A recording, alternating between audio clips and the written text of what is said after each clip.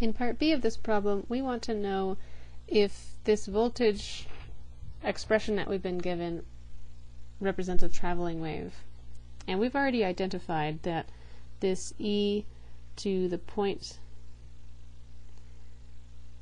e to the minus, let me rewrite this, e to the minus j 100d term represents e to the minus j beta d.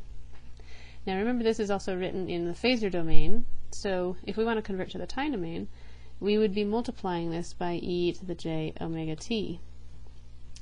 And then once we convert that to the time domain, we'd get an argument that has the form omega t minus beta d, which we recognize as being a form of the solutions to the wave equation. Then as t goes up, to get a constant argument, beta must also, uh, sorry, not beta, d must also go up.